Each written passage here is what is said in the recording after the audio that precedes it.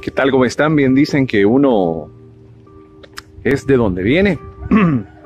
Pues hoy estoy aquí compartiendo, la verdad muy contento, enseñándoles un poquito de donde crecí, un poquito de sol, pero justo acá donde muchas veces les he compartido, yo crecí en multifamiliar del Bambi, acá en la zona 7 de Misco. Eh, era más o menos 1985 cuando vinimos acá.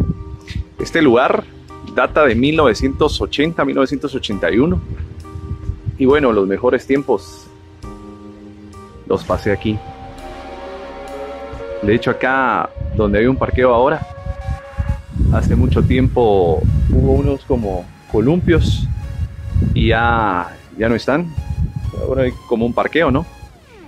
Y bueno, el parqueo era bastante grande. Gigante el parqueo. Antes era gigante, ahora con tantos carros ya. Hola. Ya no caben los carros, pero... Y bueno, yo viví exactamente donde está ese edificio verde, ahí todavía vive mi mamá. Y pues es el C. Tiene como 11 edificios más o menos esto. Y entonces era divertido porque, por ejemplo, los voy a llevar a un lugar que es la cancha de básquetbol, que era nuestra, era como nuestro estadio, ¿verdad? Ahí jugábamos nosotros fútbol, pero era divertido porque, por ejemplo, yo vivía allá en el C y la niña que me gustaba vivía, les voy a enseñar, allá vivía yo desde el C y entonces me compró mi papá, yo tenía como más o menos 8 años, 9, tal vez 10, me compró un telescopio y entonces yo quería el telescopio, pero no para ver las estrellas, sino porque desde allá entonces sacaba mi telescopio y la miraba a ella, que vivía exactamente ahí. Ese es el I, algo así, tercer nivel, obviamente ahora ya no se vería, ya no se podría ver porque hay muchos árboles. Y allá, en uno de esos apartamentos vivía uno de mis mejores amigos, entonces justo acá, donde les estoy enseñando, pues ahí me ponía a chiflarle.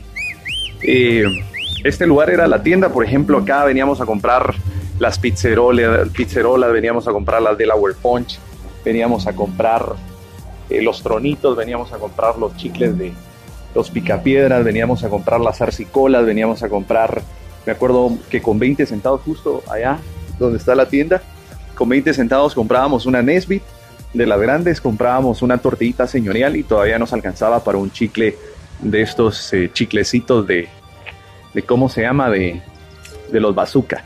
Y por ejemplo acá, este era como nuestro estadio, pero no habían porterías, entonces teníamos campeonatos de papi fútbol, pero lograba ganar quien le pegaba acá al poste. Entonces, de esa manera teníamos que prepararnos con la puntería. Y este era el árbol de los... Ay, se me había cortado. Por ejemplo, acá era bien distinto y ahora no había pavimento ni nada de eso. Es pavimento, son de estos bloquecitos, no sé cómo se llaman los bloquecitos. Y eh, aquí fue donde me fracturé. Ahí. 17 de noviembre de 1997, la época en que estaba DJ Diro de, de moda, estaba Tune Limit.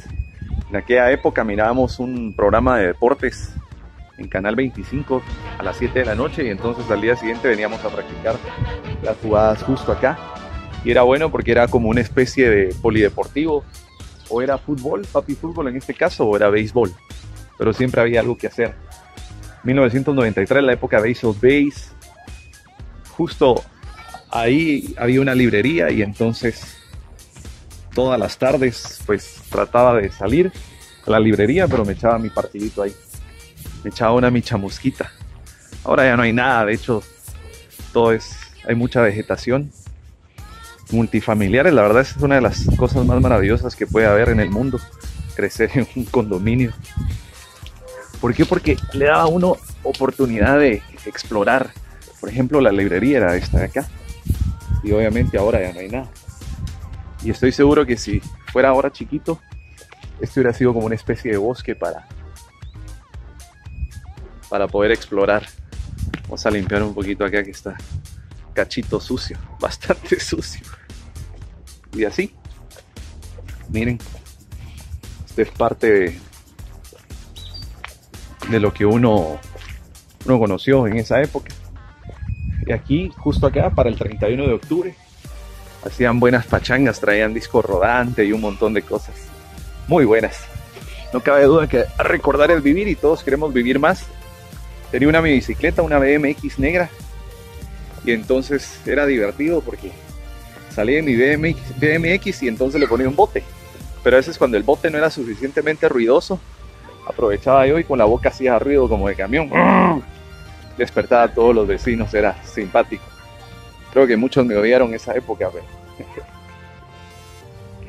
muy pronto tengo que irme, pero les voy a enseñar otras cositas y otras experiencias de esa época cuando no existía la 70, sino era la 7, que era la EGA.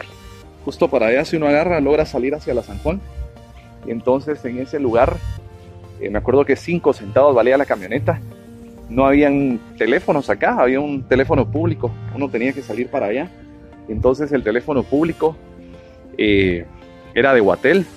Había que tener bastantes chocas. Bueno, no habían chocas, sino que eran monedas de 5 centavos. Y después vinieron las famosas tarjetas de la Datel. Estoy hablando de 1983 y después las tarjetas de la Datel a 1997. Mi papá me daba mis 5 quetzales para poder rellenar mi tarjeta de la Datel.